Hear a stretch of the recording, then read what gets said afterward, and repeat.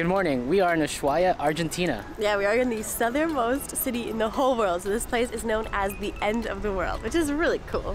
We're so excited. There's so many things to do here, and yeah. we have a jam-packed couple of days coming up. First, we're gonna get on a boat, see some more animals, and then this afternoon we get to go and walk with the penguins. We're so excited. It's like the main reason that we decided to come here. Um, and then we're gonna do more exploring tomorrow. So we really got two days to explore Ushuaia, and we are gonna bring you along for it.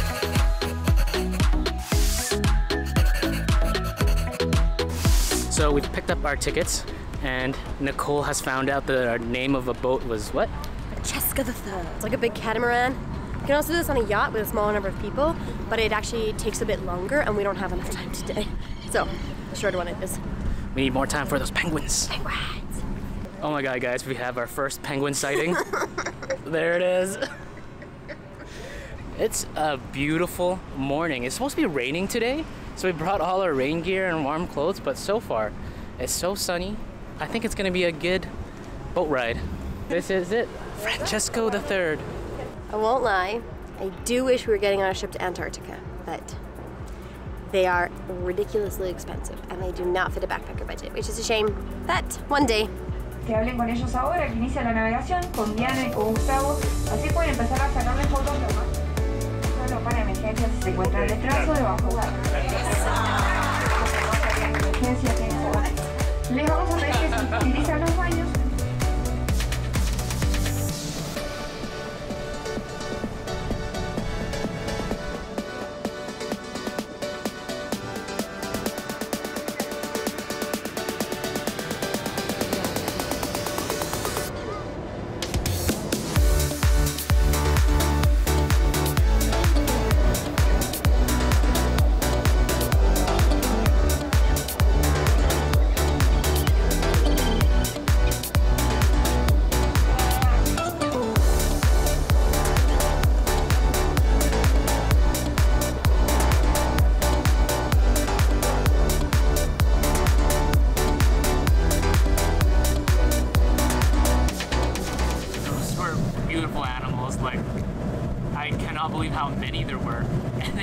some were just kind of like climbing up some were sleeping some were fighting. It was awesome. And the birds were super, super cool. I thought they were penguins, but I think they're they're called cormorants. They're like a type of aquatic bird.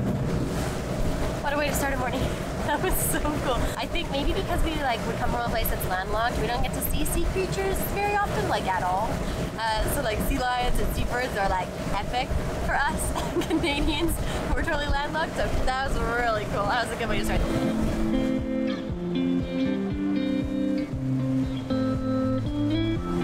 Okay, so we are coming up to the lighthouse and why this lighthouse is so significant is because it's actually like the last lighthouse before Antarctica. So this is the lighthouse that they use when you're coming from Antarctica and it's been in use for a very long time. I don't remember how many years, but at least 100 years. Um, I think that's pretty cool.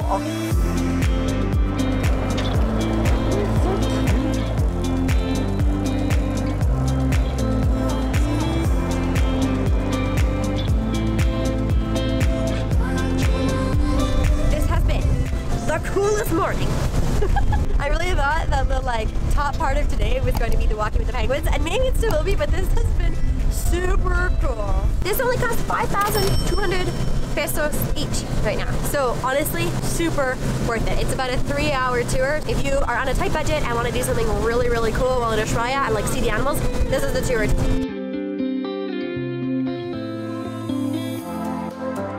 Okay, we've stopped for lunch. We are obviously off the boat. We found a little restaurant just right near the port. And I have got myself some gnocchi. So if you missed our Buenos Aires video, there's a really significant Italian influence here in Argentina. So they do pasta like really, really, really well here, which is excellent for me because I love my pasta. So I've got gnocchi, which is potato based for anyone who's not too familiar with gnocchi. And it looks amazing. I actually should put some Parmesan on here. Oh, man. Oh, so I got the mix sauce, which is a tomato and cream mix. That is the way to go with pasta sauce here. Oh my god, this is so good. So good. Okay, excellent choice in between tours. All right, so being in Ushuaia, of course, I had to get a little bit of the local fish. And today I got some cod with some Roquefort cheese. Now, I'd love to tell you more about it, but there's gonna be a lot in this vlog. We're gonna save it actually for our upcoming Argentinian food vlog where we talk about food all across Argentina. So definitely watch out for that one. We are on our second tour of the day. Yeah, we hopped on a bus real fast after lunch. We're now at the port, about to get on the boat to go see the penguins. We stopped at a museum on the way. It was like a marine museum. It was actually so cool. So cool, completely blew our minds. Yeah. Like, learned a lot about marine life Yeah. and orcas and dolphins, penguins, Lots stuff. of skeletons, and then we went into the bone house, which is where they clean off the bones for the uh, animals inside the museum, and it was smelled so. Oh, There are bones of sea lion. but it was really cool. I think we could have spent all day in there. But now penguins. we're finally about to get on the boat to the island nearby that has all the penguins. I'm so excited. So we're pumped. We're gonna go for a little walk.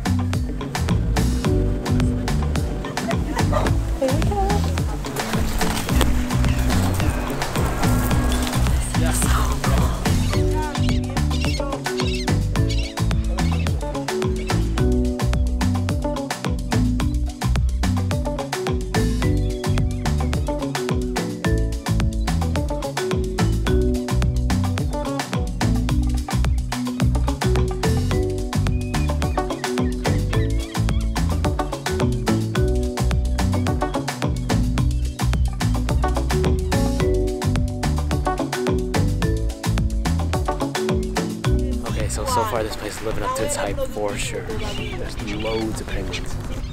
Look, it's like a couple. And I think that penguins mate for life, don't they? That's cool. One of those penguins looks like he's down on his luck.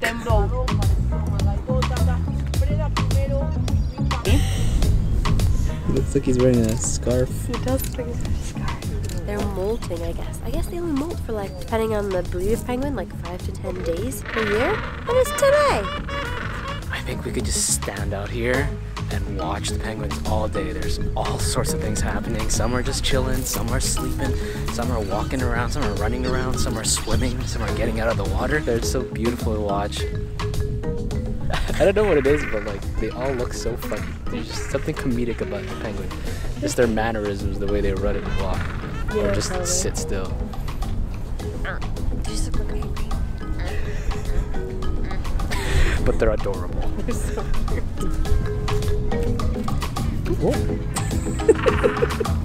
This is the like main, like the biggest nesting area. So there's holes everywhere.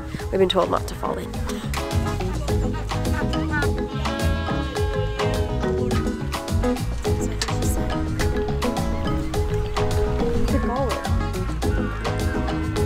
In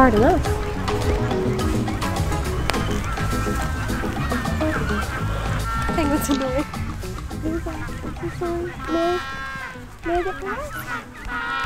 You're checking me out? Can I get past you? I don't want to go into your burrows. Ah. How, do I- you get past them? Just go. But I don't, I don't want to hurt him. Or him to get freaked out. Attack me!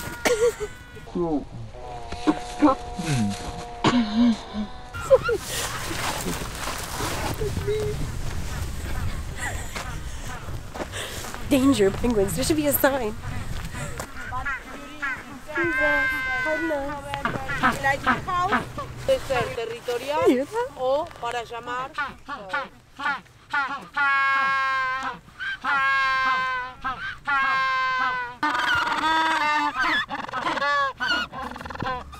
Oh, look at all the penguins in the water.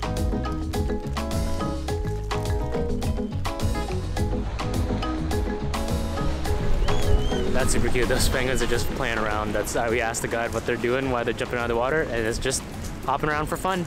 Just hanging out, not even trying to eat, just chilling. That's very cool. I think that the guy just told us there are 8,000 penguins here. 8,000? 8,000 penguins on this little island. How cool. And I guess with this island, biologists believe that it's just sort of really well made for them. There's no predators here for the eggs, well, except for birds, um, or the penguins, of course. And then uh, the ground's really soft for the burrows. So, perfect place to be a penguin. I think it cost 12,500 pesos each to come, plus 2,500 pesos for like a national park fee. Um, so it's a pretty pricey day to be here, but this is really, really cool. Not all the companies allow you to come like on and like like on the island and walk around here. A lot of them just bring boats by and they can just like take a look. Very cool to come here though. So here's an example of a penguin tour where you can see the penguins, but you don't actually walk on the island. So just right behind me here. We have to leave the island. We're here for what? I'd say 40 minutes. Yeah. 40 minutes on the tour, yeah. Bye, buddies. See you probably never.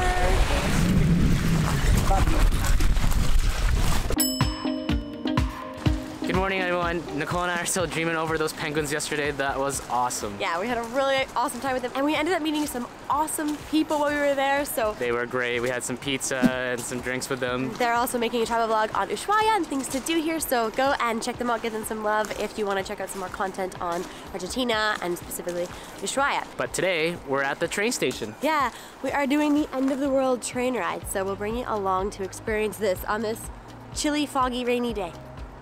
Atención, por favor, estamos embarcando tren número uno por la puerta hall principal. Tren número uno. Okay, I think that's our train. So really quickly, uh, the cost of tickets right now in March 2022 um, are 4,900 pesos per person if you are a foreigner, plus the national park fee for Tierra del Fuego National Park of 22,500 pesos. It is not cheap to come and ride this train right now, guys. But it's the last one at the end of the world, so we have to go at least try it. We're gonna see. We'll see if it's worth it. We're a little skeptical, so. What I'll also add to Nicole's pricing is that that was the price for the tourist class of the train. There are other classes, I think like for premium and first class and things like that. But for us, we just kind of got the lowest, most economic tourist class. Because we're really not sure it's gonna be worth it at all. I think you get like a little bit of extra food in the Yeah, yeah, premium yeah. class, like alfajores and a drink and stuff like that. Yeah. In a tourist class, you just get the views. So our line is literally moving, but Nicole and I love our coffee, so I'm gonna take a risk here and try to get a little bit of coffee. It's about 300 pesos each for coffee and milk. and I think it's gonna be totally worth it. Potentially even worth maybe missing this line, but we'll see. Gracias, thank you. This is so cute. I think it's the setting. Like, it's so beautiful. It's so itty bitty. It is pretty Gracias.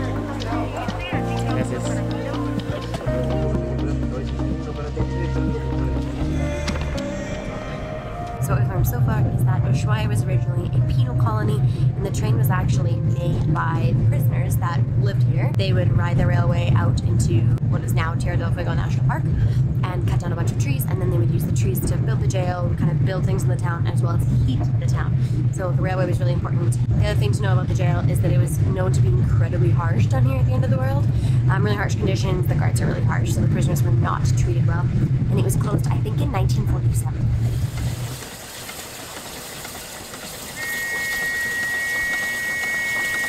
Okay, it's been a grand total of five minutes on the train, Yeah, and uh, guess we all get off and uh, take some nice photos at this train station. Yeah, you take like a quick break. I think there's actually a small little waterfall up at a spot nearby, I think. The train has also been going so slow. I keep thinking that we could probably just walk faster in the train. Because we're supposed to go seven kilometers in 45 minutes. It's not even 10 kilometers an hour. Like, It's uh like- slow. it's a light jog, really. Yeah, yeah, yeah. It's uh it's a very chill ride. So we've stopped here to go out for a little hike to see a waterfall. And, uh, yeah, it's just a little underwhelming compared to the Iguazú Falls that we were at not too long ago. that is a waterfall.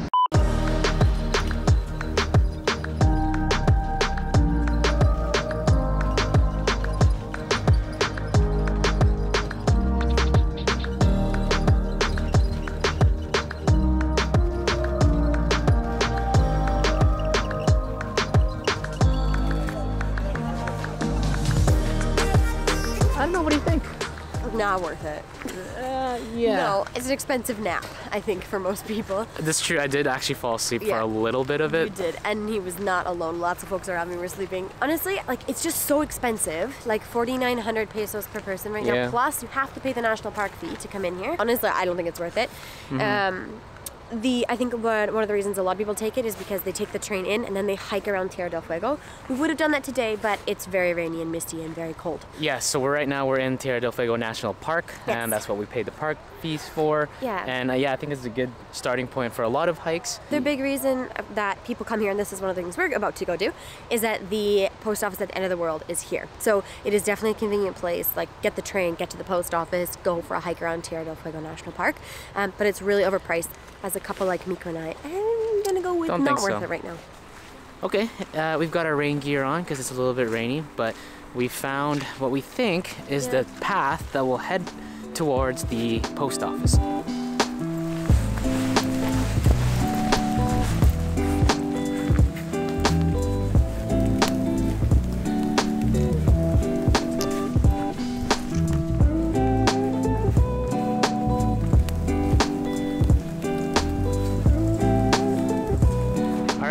Right, so we made it to the end of the trail, and it looks Yeah. like we're here at the End of the world post office. I legitimately have postcards I've been trying to mail for weeks. To Canada? Not gonna lie, this is a pretty cool place to send a letter from. So if you come to the post office and you don't have any postcards or stamps, you can get that all here and then write your own letter and then there's a person here that will stamp it all for you and get it going to wherever it needs to go. I think it's supposed to take two to four weeks to get there, I think. You Can also get your passport stamped here, uh, and it does look like it's really cool. I think it's about 500 pesos to do it. Um, it takes up a whole page of your passport, and we just don't have that much room. But it is something you can do if you government your passport. Unreal. Look at that. South Pole is less than 4,000 kilometers away. Antarctica, 1,200 kilometers.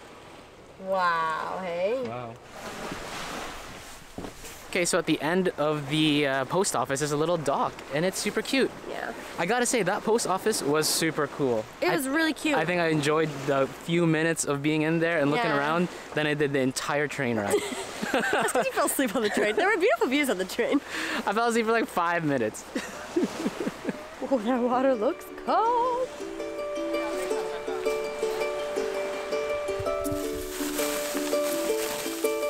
Lunch.